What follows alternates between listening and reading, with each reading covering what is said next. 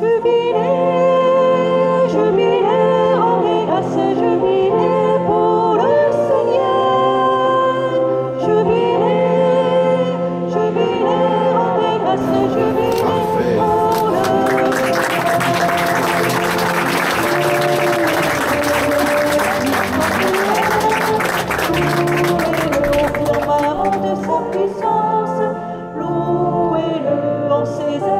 Le Seigneur vient remplir cet édifice de sa présence. Et donc c'est pour ça que nous sommes heureux de venir y prier aujourd'hui, parce que il y a 300 ans, presque jour pour jour, le Seigneur est venu prendre possession d'une certaine façon de ces lieux.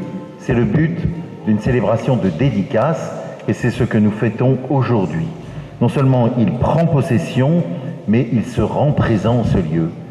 Et nous savons que si nous aimons venir prier régulièrement ici, c'est parce que le Seigneur est réellement présent dans le tabernacle devant nous. Jésus, réellement présent, est au milieu de nous.